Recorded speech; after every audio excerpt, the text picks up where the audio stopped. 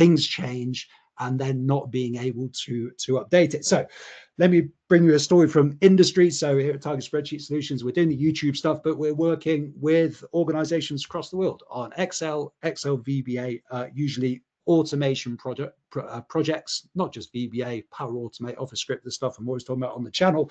And I had a great observation from somebody the other day.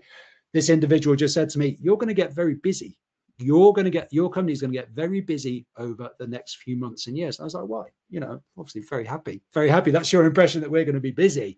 And he said, because this is what's happening in my organization. And this organization is a household name right here in the UK. Right now, I am using some technology from this organization, but I can't tell you uh, who it is, unfortunately. And this person said, all our junior programmers are writing code with Chat GPT. Yeah, it could be VBA, could be JavaScript, could be Office scripts, uh, probably more, uh, you know, fundamental code than that.